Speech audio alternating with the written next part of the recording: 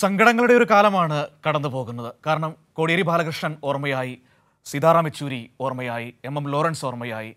ഇപ്പോഴിതാ കഴിഞ്ഞ ദിവസം സഖാവ് പുഷ്പനും നമ്മളെ വിട്ടു പോയിരിക്കുകയാണ്. സഖാവ് പുഷ്പനെക്കുറിച്ച് പറയുമ്പോൾ സഖാവ് കോടിയേരിയുമായി അടുത്ത ബന്ധമുണ്ടായിരുന്നു.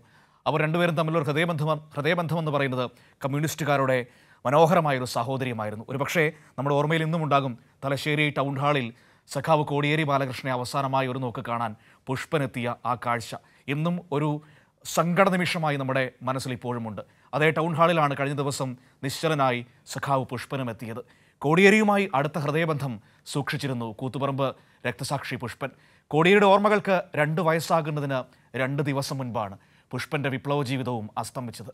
കോടിയേരിയെ അവസാനമായി ഒരു നോക്ക് കാണാൻ പുഷ്പൻ എത്തിയത് ഇന്നും നൊമ്പരപ്പെടുത്തുന്ന ഓർമ്മയാണ്.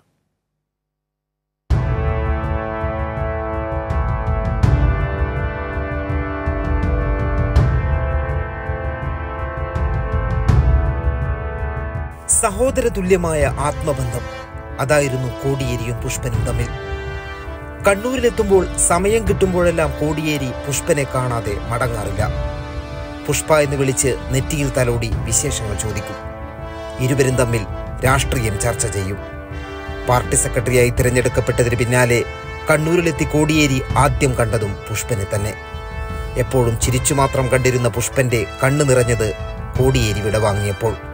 ശാരീരിക അവശതകൾക്കിടയിലും കോടിയേരിയെ അവസാനമായി ഒരു നോക്ക് കാണണമെന്ന പുഷ്പന്റെ ആഗ്രഹം ഡിവൈഎഫ്ഐ പ്രവർത്തകർ നിറവേറ്റി.